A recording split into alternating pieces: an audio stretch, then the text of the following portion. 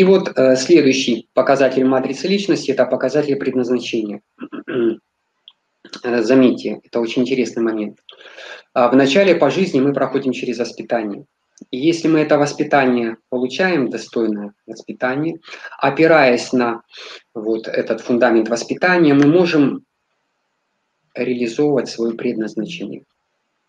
И я этот показатель предназначения обозначил как успех, потому что в действительности мы добиваемся успеха не тогда, когда мы зарабатываем много денег. А, успех – это не то, что у нас благополучная семья. Успех – это то, что мы пришли в эту жизнь, и мы э, реализуем себя, реализуем свое предназначение, то есть э, играем свою роль в этом мире. Потому что у каждого из нас своя роль, и если мы ее играем правильно, благодаря этому мы делаем этот мир лучше, и жизнь всех людей окружающих делаем лучше. Ну и наша жизнь благодаря этому начинает процветать. Поэтому успех э, реализуется в сфере предназначения. И в показателе предназначения у Льва Толстого э, единичка, при ней 37. Да, я так говорю, 37 дробь 1. Что это означает? Что Лев Толстой шел по маршруту единицы, и для того, чтобы вписаться в этот маршрут, ему нужно было научиться, или, скажем так, опираться на тройку и на семерку. В этой методике такая интересная интерпретация. Что такое единичка? Единичка – это энергия цели, устремленности, инициатива, начинание, независимо, самостоятельно, уверенно. Проявляем личную силу, ставим перед собой цели, идем к этим целям, достигаем этих целей, независимо, самостоятельно, уверенно, не получая ни от кого поддержки, а опираясь на потенциал личной силы. И если вдруг что-то у нас не получается, мы включаем ответственность, то есть где моя ошибка. Спрашиваем себя за все, что происходит в нашей жизни. Итак, э, Лев Толстой шел по маршруту ответственного лидера. Инициатива начинаний. Видите, поэтому его определили опекуны в э, университет. Он поступил в этот университет, в Казанский университет. Отучился пару курсов, по-моему. И затем не сдал соответствующие экзамены и вынужден был остаться на второй год. Кстати, биографы отмечают, что в университете э, Лев Толстой отличался э, изрядной ленью. То есть он достаточно лениво относился к обучению. Но это неудивительно, потому что в его карте единица в недостатке, четверка в недостатке и семерка, кстати, в недостатке. То есть это энергии, которую ему по жизни нужно было нарабатывать. А единица отвечает за вот эту целеустремленность, четверка отвечает за дисциплину, то есть ему в детстве, в юности очень сильно не хватало дисциплины. А семерка отвечает за мудрость.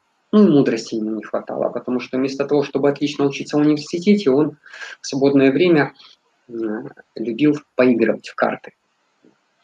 Ну, естественно, создавать себе долги при этом. То есть это очень немудрое поведение. И, э, но в какой-то момент он понял, что нужно как-то менять свою жизнь. И если он хочет реализовать себя по жизни и достигать тех целей, которые он перед собой ставит, ему нужно что-то с собой хорошее сделать. Поэтому он э, перевелся сначала с Казанского университета в Петербургский университет, сдал там экзамены, был зачислен в этот университет, но так и не начал в нем учиться, потому что очередной проигрыш в карты побудил его все-таки вместе с братом отправиться на Кавказ, участвовать там в войне, ну, как бы по, он нанялся, да, на эту войну, да, за деньги. А затем понял, что вообще армия – это хорошая школа, и поступил на службу в армию, ну и пришлось участвовать ему в настоящих боевых действиях на Кавказе, он сражался в этой, принял участие в битве за Севастополь, известной битве в истории. Э, в смысле, в Крыму уже, да? Да, да, в Крыму, в Крыму. И вот э, именно благодаря тому, что он независимо, самостоятельно уверенно, это единичка, проявил инициативу, предпринял начинание, ну и изменил свою жизнь сам изменил ее, да, то есть вместо того, чтобы вот комфортно там прозябать в университете, э, перебиваясь как-то с курса на курс, он отправился в армию, воевать причем, да. Вот, э, таким образом он наработал там единицу, наработал четверку, наработал семерку. И вот, э, как я говорил перед этим, вот стал таким мастером. То есть научился управлять собой, собой своей собственной жизнью. И сам начал строить свою жизнь так, как считал нужным.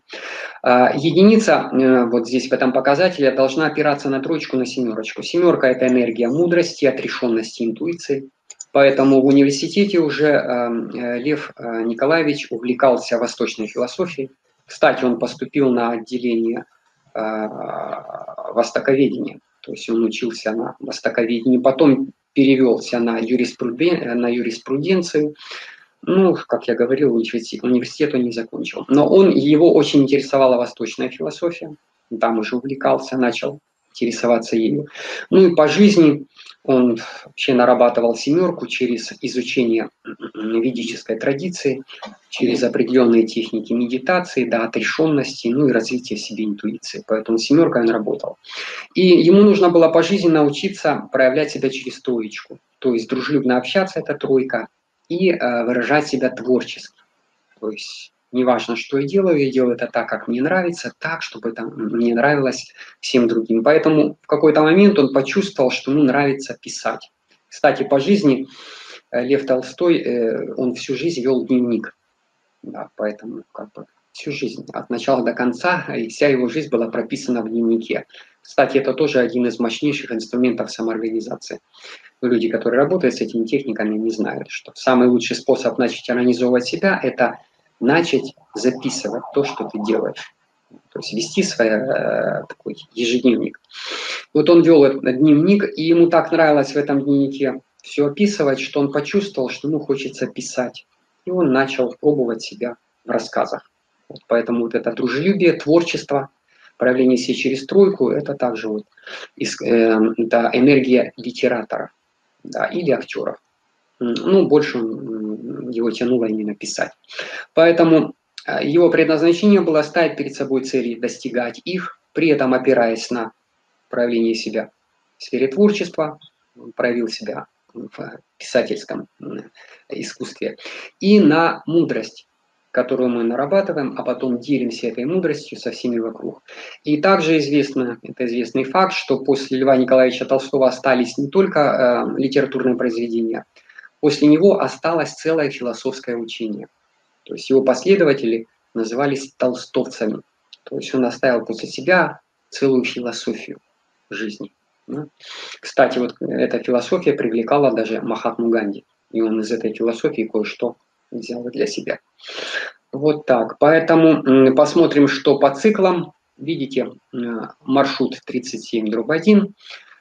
Урок с 55 по 63 год включился у него также по единичке, то есть Льву Николаевичу Толстому нужно было учиться ставить цели достигать, при этом опираясь на двойку, работу в команде и на восьмерочку, на собственное мастерство. В возможностях ему также шла девятка, то есть воевать и или служить миру. А точка опоры в этот период также была по семерке. То есть э, он, бы, он мог с успехом реализовывать все свои задачи, опираясь на мудрость, э, отрешенность и интуицию. И вот если этот период посмотреть его жизни, то в эти годы, с 55 по 63 год, вон в 56 году он уволился из армии, потому что почувствовал, что тоже пора двигаться дальше не просто деньги зарабатывать, да, а начать реализовывать свои жизненные задачи. А в 1959 году он открыл в Ясной Поляне школу для детей, кстати, да. Он обучал детей, он в том, в том же году он написал азбуку для детей свою. А в 1862 году он женился. То есть в возрасте 34 лет он женился на Софье Берс, которая была младше него на 16 лет. То есть ей тогда было 18, а ему 34. И в 62 году он женился. Он принял ответственное решение. Да? И э, не зря он это сделал, потому что все биографы отмечают, что именно его супруга э, вдохновила его на написание всех его самых как бы, успешных литературных произведений –